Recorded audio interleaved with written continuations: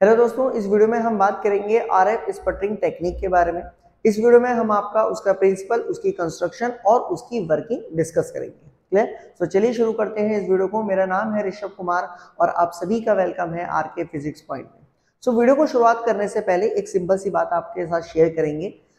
इससे पहले वाली वीडियो में मैंने जो इससे पहले वीडियो बनाई थी, उसका नाम है डीसी स्पटरिंग अब उस वीडियो में मैंने स्पटरिंग के बेसिक प्रिंसिपल और डीसी स्पटरिंग क्या होता है वो सब चीज़ें बताई थी। उस वीडियो का लिंक आपको डिस्क्रिप्शन बॉक्स में और आप यूट्यूब में भी सर्च कर सकते हैं। क्लियर उस वीडियो के बेसिक प्रिंसिपल और कुछ बातें इस वीडियो में यूज़ होंगी। सो so, प्लीज़ पहले उस वीडियो को देखिए। उस वीडियो को देखने के बाद आप इस वीडियो पे जा सकते हैं। आपको बेहतर समझ में आएगा। ऐसा मत सोचिएगा कि सर इस वीडियो में तो इसका मतलब समझ में ही नहीं आएगा। ऐसा कुछ नहीं है। मैं पूरी कोशिश करूँगा कि आपको आर एफ़ समझ में आए। क्लियर चलिए शुरू करते हैं। अब अगर हम ध्यान दें हमने डीसी स्पटरिंग में क्या पढ़ा था? सिंपल सिंपल समझते हैं। स्पटरिंग प्रोसेस बेसिकली वो प्रोसेस होती है जहाँ पर आप आ, किसी अपने सबस्ट्रेट के ऊपर एक थिन फ़िल्म बनाते हो।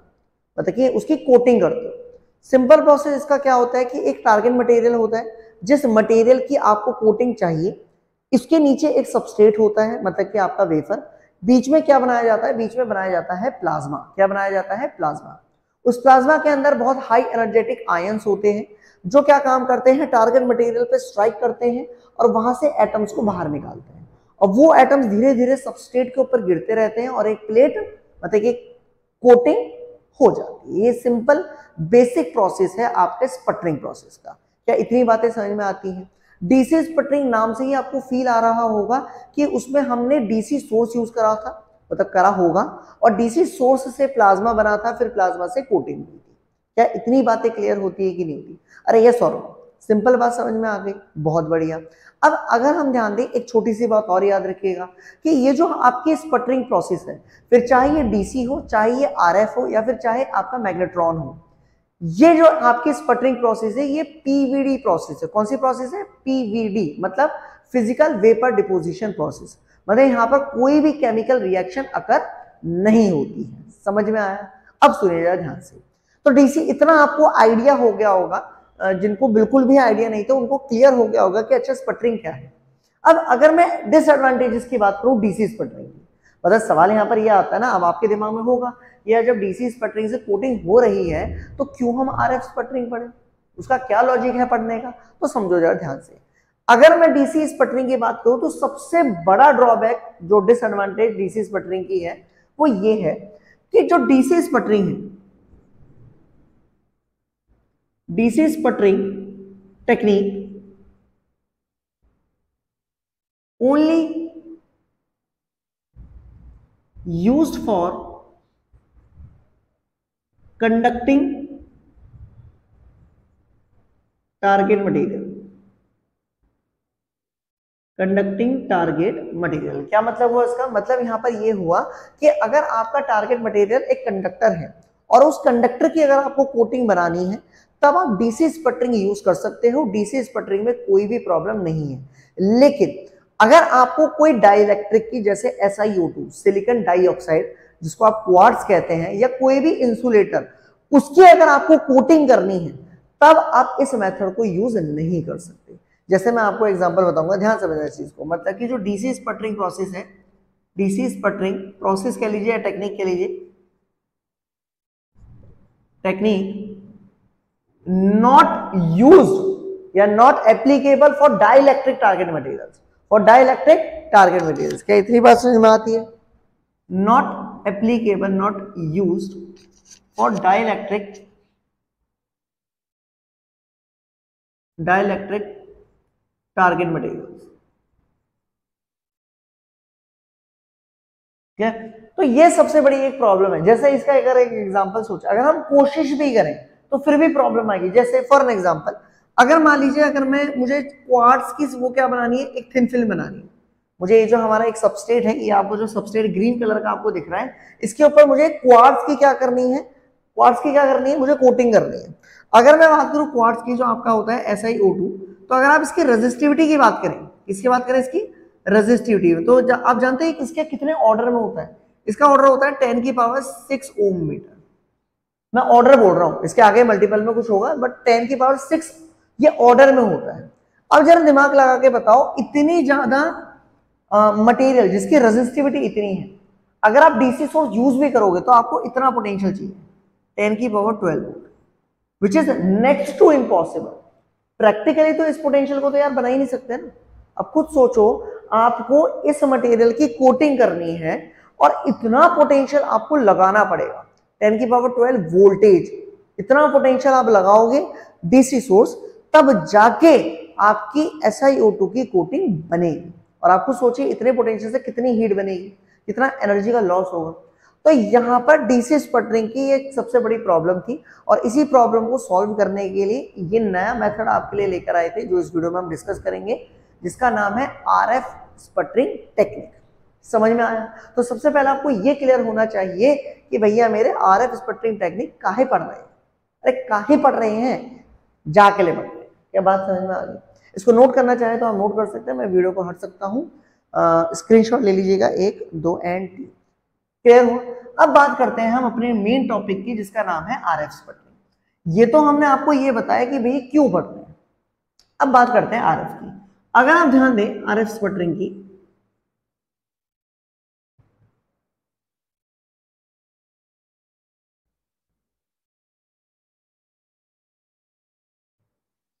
जी हाँ अगर आप इस आर एफ़ स्पटरिंग टेक्निक की बात करें तो यहाँ पर एक वर्ड आता है आपका आर एफ़ ये आर एफ़ का मतलब क्या है? आर एफ़ का मतलब है radio radio wave frequency.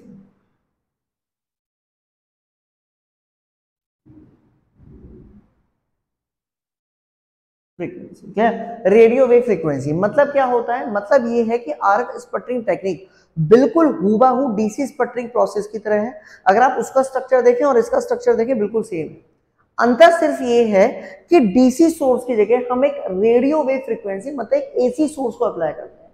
और एसी सोर्स की फ्रीक्वेंसी रेडियो वेव को अप्रोच करती है। ध्यान से समझिएगा इस चीज़ को। मतलब यहाँ पर अगर मैं बात करूँ, इस प्रोसेस में इन दिस प्रोसेस या in this technique we used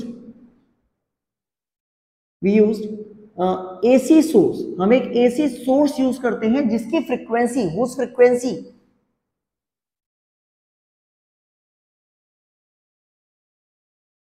is जिसकी फ्रीक्वेंसी आपकी रेडियो वेव होती है, क्या होती है? Is equal to radio wave frequency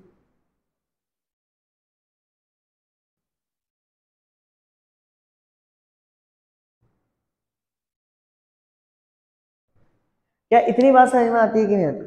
अरे सर नो तो अगर हम कायदे में देखें तो जनरली जो फ्रीक्वेंसी रखी जाती है फॉर आर एफ़ स्पटरिंग वो रखी जाती है कुछ इतनी। मतलब अगर आप जनरली उसकी फ्रीक्वेंसी देखें तो 13.56 मेगाहर्ट्ज इतनी फ्रीक्वेंसी रखी जाती है उस एसी सोर्स की, जो भी आप एसी सोर्स यूज़ करते हैं। ये आपका आरएफ सोर्स है।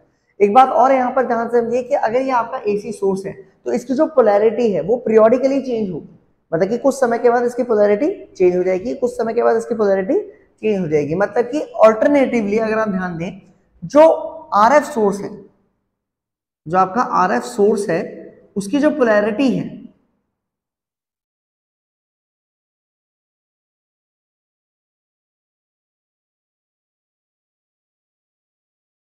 क्या इतनी बात समझ में आती है?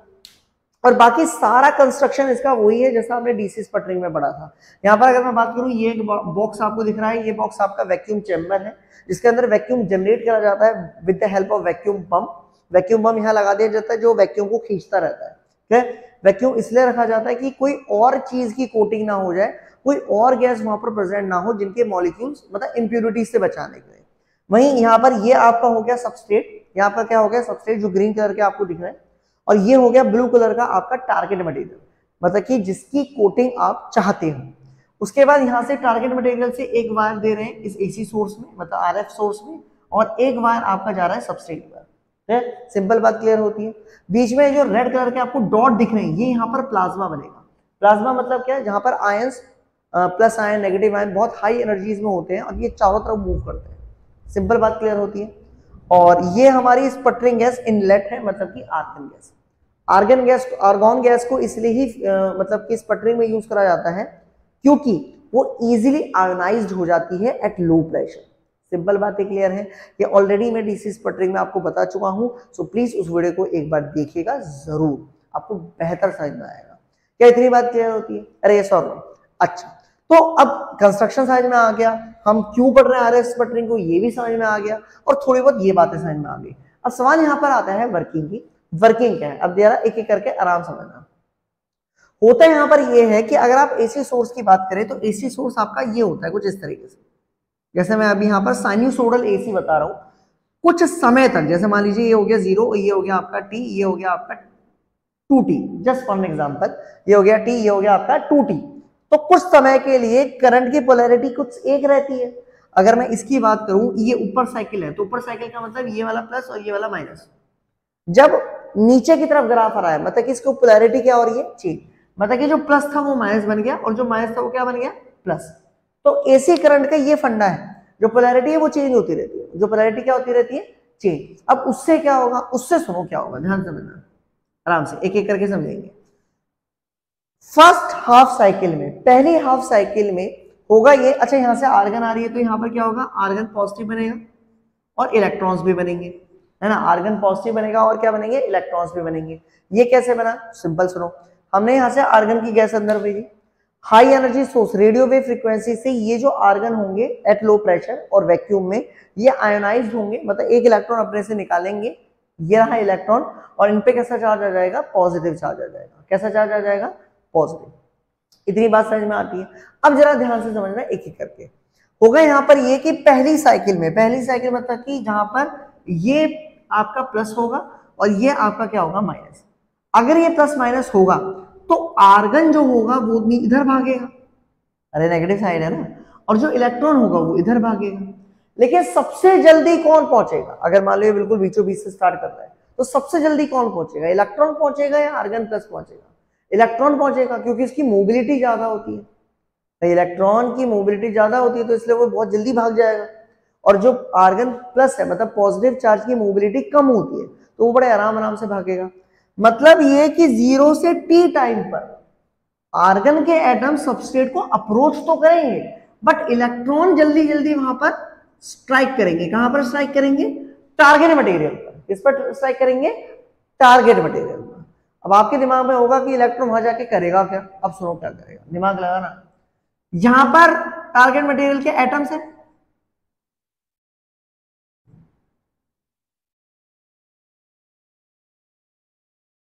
ये टारगेट मटेरियल्स के क्या है? एटम जब ये वाला हिस्सा प्लस होगा तो ऑब्वियसली बात है ये हिस्सा माइनस होगा। मतलब कि जो एटम डाइलेक्ट्रिक के एटम्स होंगे, वो पोलराइज हो जाएँगे। एक हिस्सा क्या हो जाएगा? नेगेटिव और एक हिस्सा क्या हो जाएगा? पॉजिटिव ऐसे यहाँ एक हिस्सा नेगेटिव एक हिस्सा पॉजिटिव एक एंड नेगेटिव एक एंड पॉजिटिव कुछ इस तरीके से। भाई ये वाली बात समझ में आएगी नहीं? जो टारगेट मटेरियल के ऊपर एटम्स है, यहाँ पर जो एटम्स है तो नेगेटिव तो पीछे की तरफ़ चला गया, क्योंकि ऊपर प्लस है, और बाहर की तरफ़ क्या आ गया? प्लस चार्ज अब आर्गन प्लस तो सबस्ट्रेट की तरफ़ भाग रहा है आराम से। ऐसा समझो ना, यहाँ पर मान लो सबस्ट्रेट है, पीछे मान लो टारगेट मटेरियल की रॉड हो गई, दो इलेक्ट्रॉन हो गए ऐसे करके। यहाँ पर आर्गन मैं मान लो, मैं आर्गन प्लस हूँ और बगल में इलेक्ट्रॉन बैठे हैं।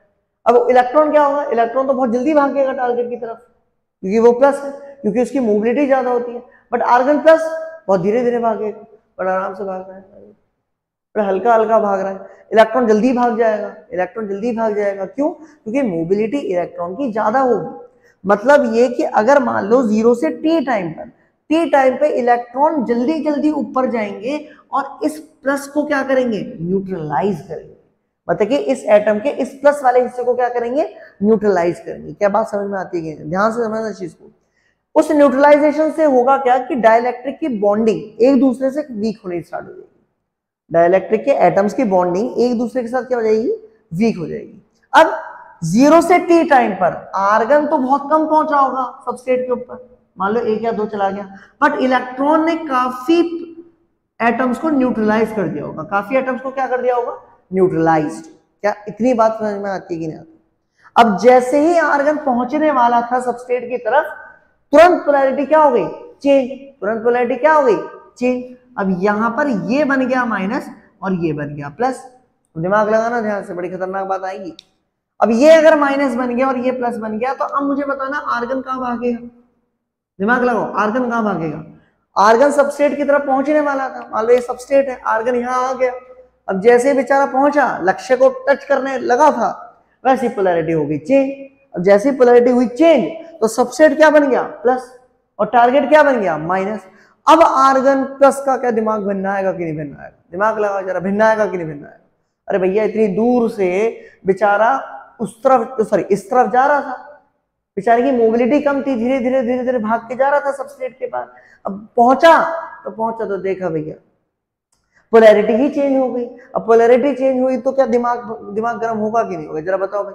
किसी चीज़ को तुम पहुँचे पहुँचे पहुँचे, अब वहाँ पहुँच के पता चला कि यार कुछ है ही नहीं।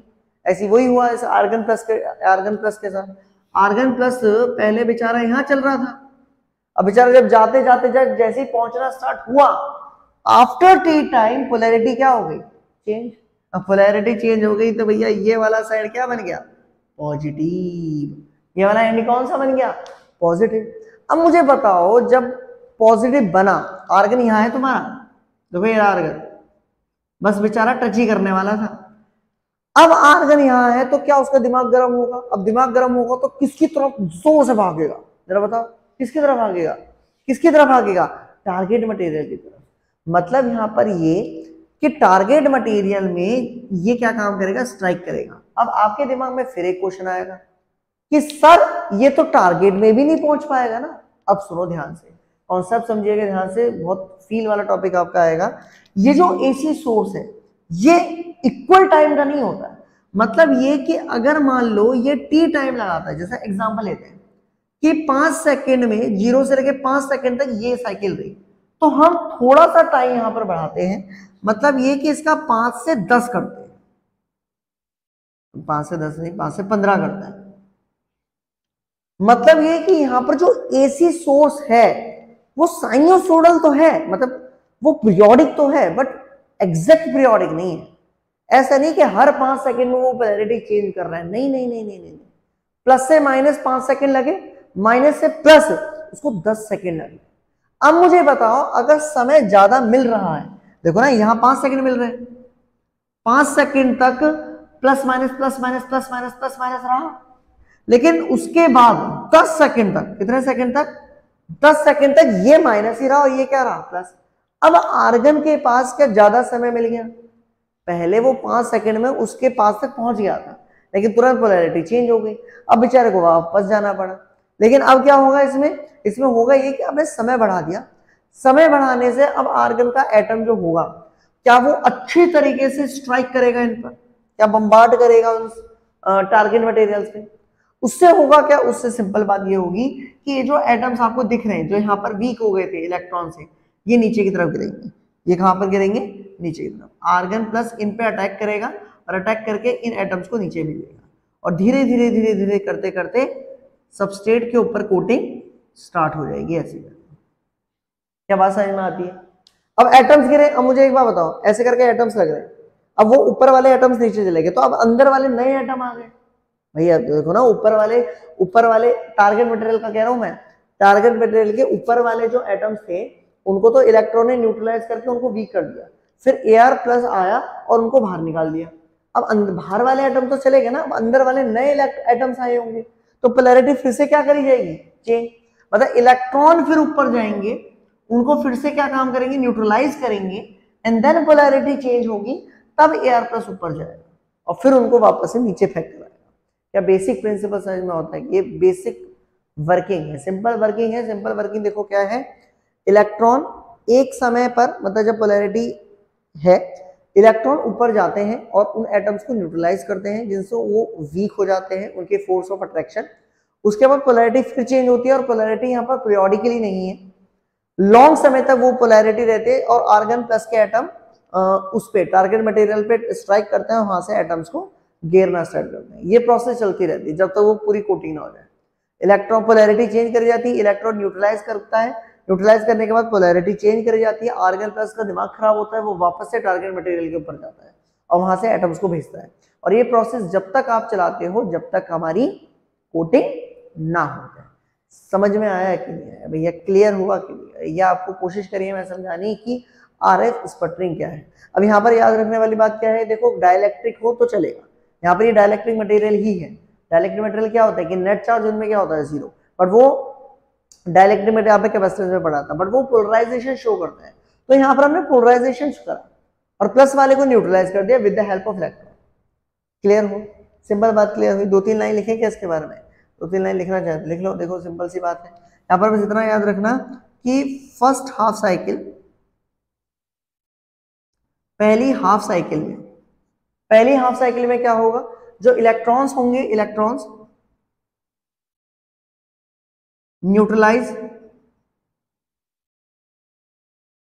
target material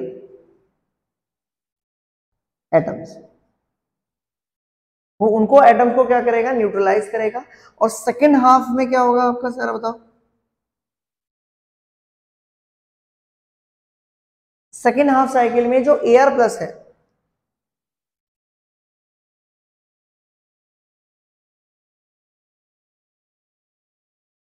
bombardment